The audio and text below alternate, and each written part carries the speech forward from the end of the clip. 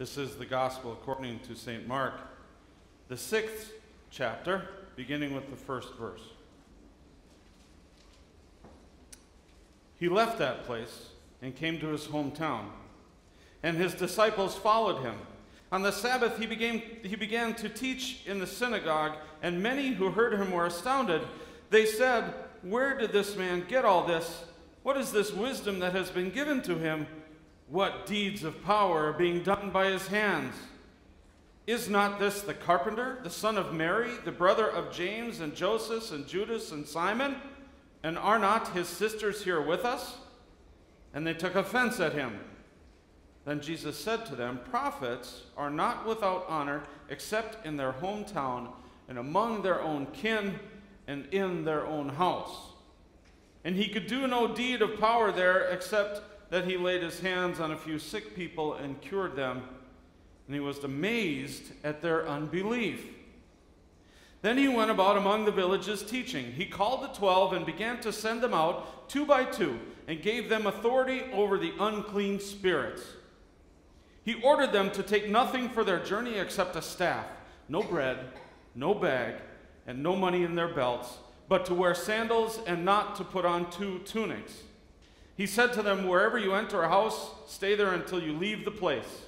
If any place will not welcome you and they refuse to hear you, as you leave, shake off the dust that is on your feet as a testimony against them.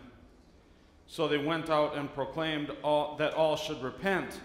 They cast out many demons and anointed with oil many who were sick and cured them. This is the gospel of the Lord. Thanks be to God. You may be seated. This is something called the message. It's an interpretation by Eugene Peterson. It's called the Bible in Contemporary Language.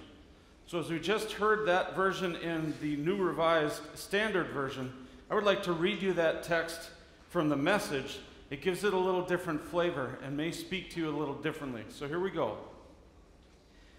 And you can follow along in your own Bible and see where it's different. He left there and returned to his hometown. His disciples came along. On the Sabbath, he gave a lecture in the meeting place. He made a real hit, impressing everyone. We had no idea he was this good, they said. How did he get so wise all of a sudden? Get such ability? But in the next breath, they were cutting him down. He's just a carpenter, Mary's boy. We've known him since he was a kid. We know his brothers, James, Justus, Judas, Jude, and Simon, and his sisters. Who does he think he is? They tripped over what little they knew about him and fell sprawling and they never got any further. Jesus told them a prophet has little honor in his hometown among his relatives. On the streets he played in as a child. Jesus wasn't able to do much of anything there. He laid his hands on a few sick people and healed them. That's all. He couldn't get over their stubbornness. He left and made a circuit of the other villages teaching. Jesus called the twelve to him and sent them out in pairs. He gave them authority and power to deal with the evil opposition. He sent them off with these instructions Don't think you need a lot of extra equipment for this. You are the equipment. No special appeals for funds. Keep it simple. And no luxury inns. Get a modest place and be content there until you leave. If you're not welcomed, not listened to, quietly withdraw. Don't make a scene. Shrug your shoulders and be on your way. Then they were on the road. They preached with joyful urgency that life can be radically different. Right and left, they sent the demons packing. They brought wellness to the sick, anointing their bodies, healing their spirits. Brothers and sisters, grace and peace from God our Father and from our Lord and Savior Jesus, the risen Christ. That version in the message takes on a little different flavor, doesn't it? Interesting stuff. Two things stuck with me from this gospel text for today. I'm having a little trouble getting past them as I usually do with this text. I've actually used this text in my past, but that's a different story. The first part is where Jesus is evidently without honor in his hometown and can't do any deeds of power. The second part is the part where the disciples are told to shake the dust off their sandals. It is an apparent symbolic testimony against those who do not receive their message. Both of these texts have some things to say about what was going on then and what's going on now in our world. If we spend some time thinking about a prophet not having honor in his hometown, we might see a vision of what it is to be known to a point where we're almost known too deeply. I've experienced something like that in my own life. When I was ordained, some of the folks that I have as friends on Facebook were in a state of unbelief. Yeah, go figure. The people I knew when I was in grade school and junior high back in Massachusetts, they'd put on some comments. You're a what? like of an actual church? Yes, of a real church. Wow, we didn't see that coming. No, you didn't. Maybe they knew me to a point where they thought that I was a certain kind of person and could never be anyone else. I would have to say that Jesus taught them different. As we move through life and encounter all the twists and turns that life can bring, we change. We grow and become the person that Jesus leads us to be. We walk by faith, and Jesus helps us grow into the person that God created us to be. So the people that we leave behind only know the old us. Some would say those folks know us as we actually are on a deep level, maybe. I would say that they know the old us and not the us that we have become. Those kids I knew back in Massachusetts would be surprised to find the person I've become. I always thought it'd be fun to show up at a school reunion, you know, with a collar on. All right. They could not imagine the person I've become. Therefore, they can't imagine the things that I do or the people that I influence. It's not that I can't do the things I do, it's that they, based on the experiences that we all shared in the past, can't grasp the idea that I do this thing called ministry. And maybe that's what was happening here in our text.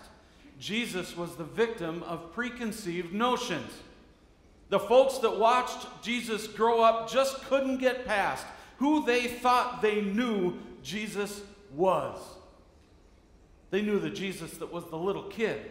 They knew the Jesus that was the carpenter's son. Notice, incidentally, they referred to him as the son of Mary. That's interesting. Kind of scandalous of the day because you never referred to a boy as the son of a mother, it was always the son of a father. So, where about Joseph? Where was he? We don't know. Suffice to say, that it was a little bit tough to hear them say that he was Mary's son. Why was he identified in this way? We don't really know. Short answer is that Jesus is the Son of God. He's not Joseph's son, he's God's boy. Maybe that's all we need to say about that. Maybe that's the subject of another sermon. I digress. For our time together today, let's just concentrate on this preconceived notion of who these folks thought that Jesus was. He was the son of a lowly carpenter. Now, no offense to any carpenters in the world, and I can tell you in today's day and age, you find a good carpenter, they're worth their weight in gold, right? I mean, anybody who's done any kind of home improvement knows that a good carpenter is very tough to find and very valued. We get that now. Back in that time, they were laborers, they were on the bottom kind of of the social food chain. How then could Jesus do all the things that he did if he was just the carpenter's kid?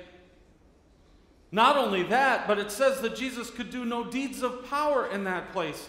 Is that because the people around him just couldn't get past those preconceived notions and recognize the real Jesus that now stood before them? I'm a little hesitant to say that Jesus was unable to do those things. I'd rather think that the image that these people had of Jesus prevented them from seeing this real Jesus and receiving who he was and what he did. So that imagery works pretty well with us as well. We go through life and grow over time and become someone that people in our past might not even be able to recognize. They can't see who and what we've become. Their image is tainted by their experience. It's hard to accept that people change. It's probably even harder to accept that people are changed by God.